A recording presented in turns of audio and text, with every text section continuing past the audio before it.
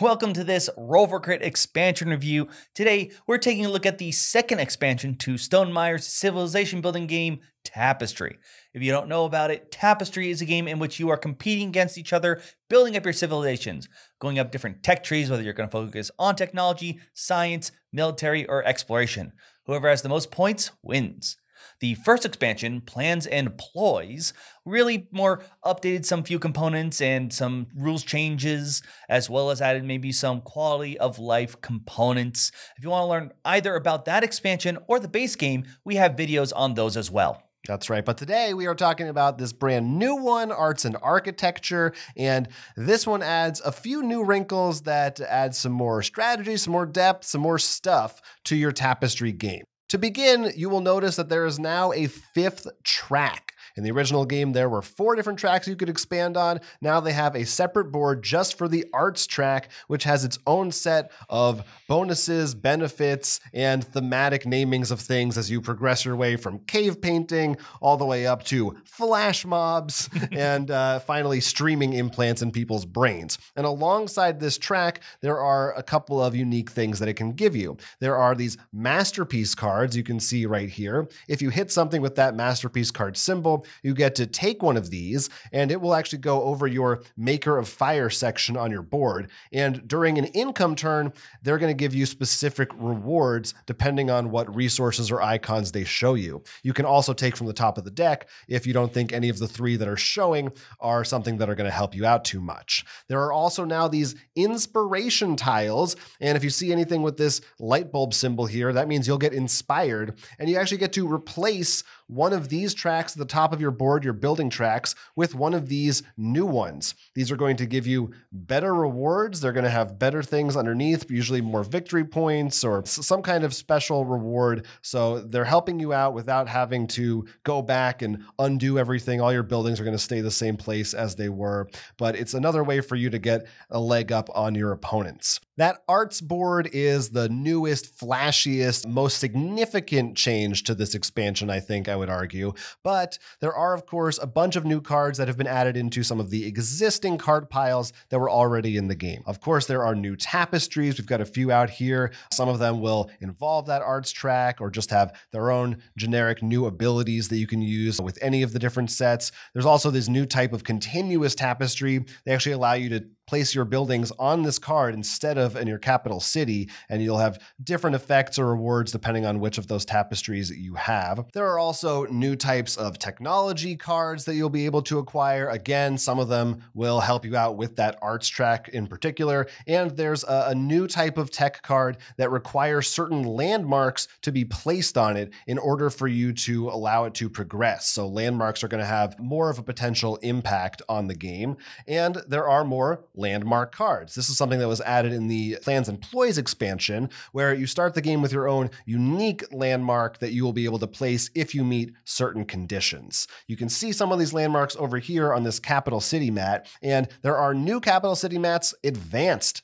capital city mats with more complicated rule sets. Whereas before, they were all kind of the same basic thing, but with different layouts. Now there are unique things. For instance, this one right here, you are not allowed to extend your landmarks off the side of the map, something you were able to do previously. So they all have their own unique types of challenges to add. And of course, there are new civilizations for you to build off of. Right here, we're seeing Renegades, which actually gives you a fourth track, or in the case, or fifth track. In this case, it's a sixth track if you're playing with the arts, own personal track that you get to advance on. There's more. There's the Relentless faction civilization, uh, which allows you to place tokens if you get buildings, and then on a turn where you don't get buildings, you can trade them all in for big rewards. Urban planners have specific desires for you and how you're laying out your capital city. Or there's even the gamblers here who make it so you draw a few cards and kind of see what you get for your your tapestry each turn rather than carefully planning them out based on what's in your hand already. So a lot of those different things are in the mix. The arts board, as I said, is the biggest thing that's going to have, I think, the most impact on your game overall. Also, there are going to be some adjustments to the solo rules. Makes sense when you're adding a new track. That's going to change how the AI thinks but there also are a bunch of changes to the civilizations.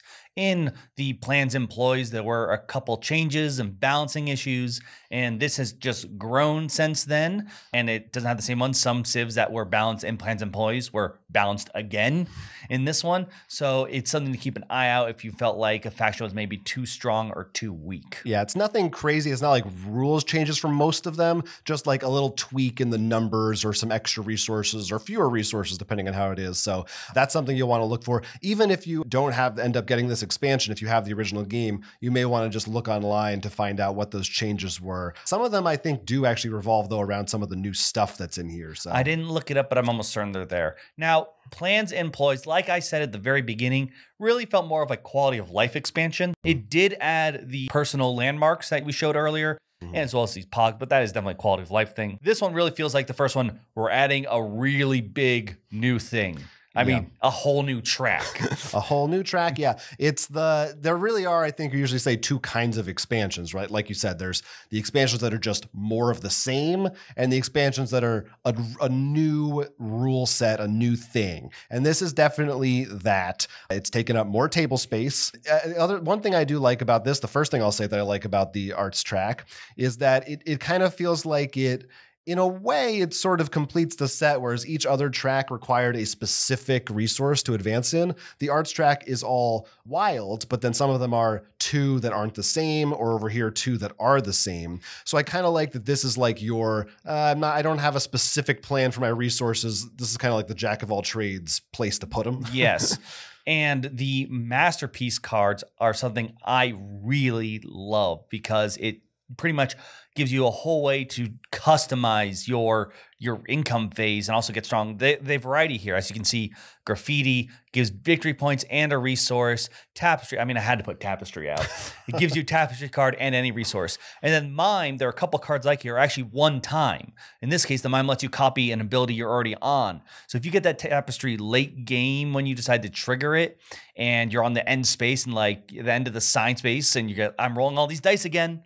Oh, and we forgot to mention Science gets a new die because you got to know if you see if you roll the arts. Oh, thank God, I actually rolled the arts there. very, very nice. Yes, this is now even more sides on this baby. I think it's a D20. yes, and I think the ratios are percentage wise are still close. And Yeah. I mean, it's always equal, but still the general uh, weighted symbol. I think it just adds a lot more. Like I thought, adding a fifth track would make me feel a lot weaker. Like we'd end up only being at like Mm. the first stage in all the tracks. Spreading yourself too thin. Yeah, but I didn't think that. I think it gives enough that you're able to go up in the other places as well, at least in the games we played. Mhm. Another, of course, I love the other cards added as well. I'm always a fan of that. I love that with the previous one because they had a lot more unique traps.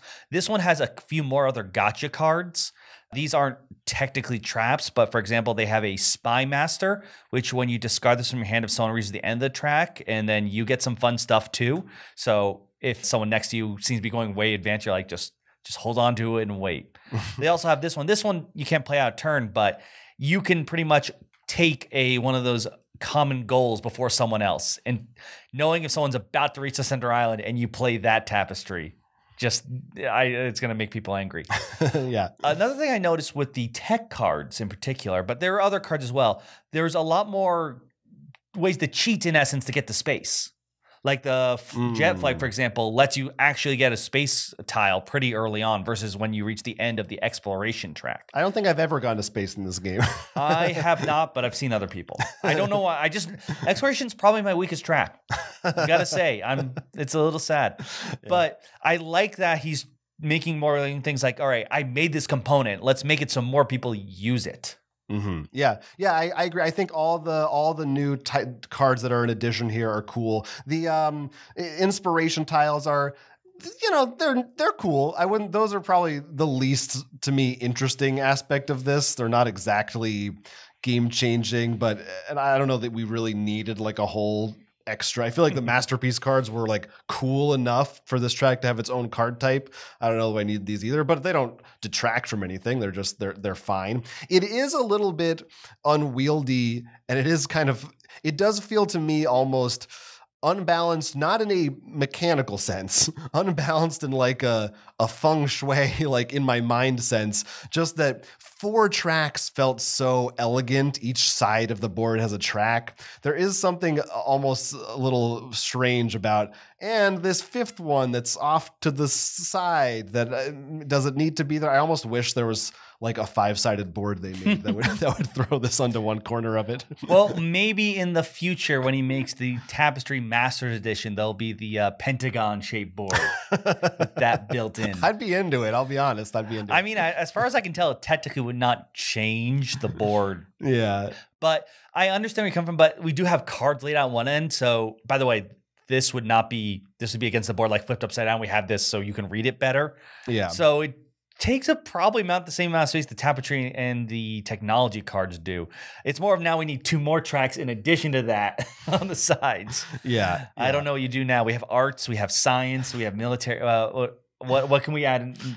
We don't need any more. It's it's it's enough. It's, it's enough. But yeah, yeah. So so it's so it's kind of kind of a lot. And I, I do like the new uh, the new civs. I think are all pretty interesting. I think they're pretty good at coming up with these at, at this point. And they didn't go overboard either. You know, the fact that there's only five new ones, I like that because it tells me that they actually made sure these ones are good and like work well with the others. Well, as you can see from the way that they put in a whole lot of updates, they realize like yeah. Hopefully they uh, they really focused in on those. for me these advanced uh, capital maps are really interesting and even though they have some crazy not crazy rules but some intriguing rules i would love to see a lot more weird ones like this one's built out there's one that is like you can build, over this but if you build around it it becomes a filled piece so you can get the resource bonus for filling up a section and you played like also one was cloud city uh, I didn't get a chance to play with, which it was pretty much just weirder patterns for that.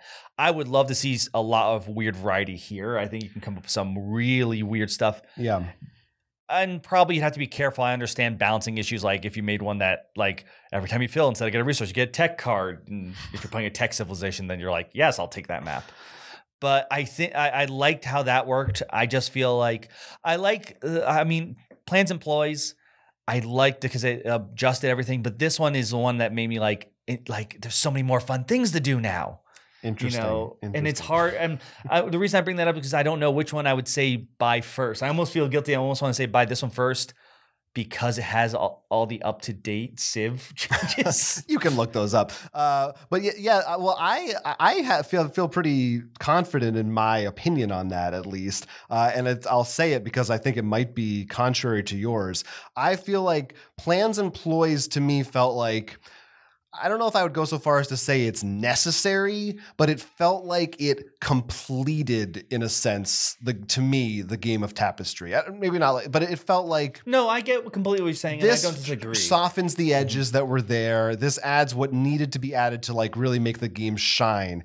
And this I feel like is cool, but it's it's like I think this is for if you've played Tapestry a bunch and you really like it a lot already. I don't think this is, should be the first thing that you get just because I feel like if this never came out, this fifth, I never felt like man, there should be a fifth track. I just never thought that. you fair know? enough but i will say that if i most likely play more games in the future obviously depending on other people at the table i'd want to play with the arts track i Mm. think it's a lot of fun particularly the mastery cards i really enjoyed because i just felt like it gave you a whole lot more power without um, sacrificing too much Mhm. uh, of course thematically i think it, it fits great and of course these advanced boards and always more tapestry and equipment. But I think that's not an arts and arts and architecture thing. Like that's any expansion. More tapestries, please. yeah, those I have no problem with. It really, it really is this. And like I said, I do like it. I think my my concern is just, i i you know, I, I worry about bloat.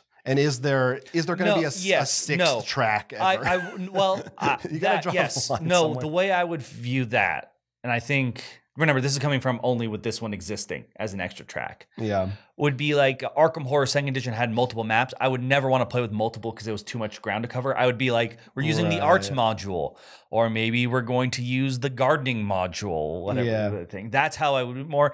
But I like the extra track because it did give enough power that didn't feel like it drained too much from the other ones, and it adds plenty of other stuff. Of course, like you said, the tapestry, uh, not tapestry, wow, the plans and ploys does do that final bit, which is probably the one you should get. But do keep in mind that they have updated uh, the civs if that's the main reason you're buying it. But overall, like I was pretty happy with this. Yeah, I, I, I will give them uh, some credit that it, it, thematically, I guess it does fill a hole because there really wasn't, in terms of building your civilization, they didn't have the arts. That was like the culture section is one thing that wasn't represented. So, and like I said, I do think the fact that this one uses resources of your choice is a nice touch. So, like, I think they did a good job with it. I would definitely recommend this. Pick this up if you really like Tapestry, and especially if you know if you've been playing Tapestry buy this. Like it's a good expansion, a little less enthusiastically than you, but I still enjoyed the content that was here. You can let us know if you've had the chance to pick this up and what do you think it brings to the table? Is this something you maybe play every now and then, or is this going to be included in every Tapestry game moving forward? Yeah, it'll be interesting to find out. Talk to us in the comments section to let us know how you feel about the Tapestry expansions. But thanks for watching. My name is Jonathan. I'm Will. And this was Roll for Crit.